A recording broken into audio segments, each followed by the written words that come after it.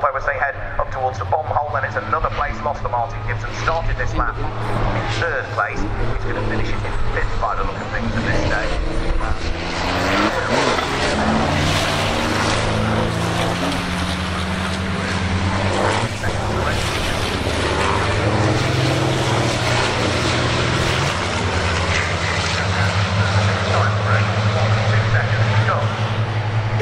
Five, so another half a second quicker is Jamie Anderson. There are five minutes to go, which means the lap they're on and two more thereafter between Simon Reed and Kate.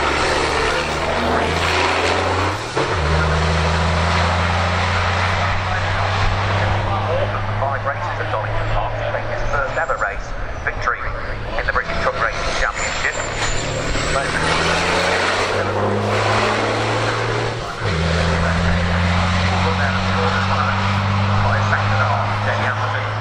3.6 seconds in hand between himself and Ryan Smith.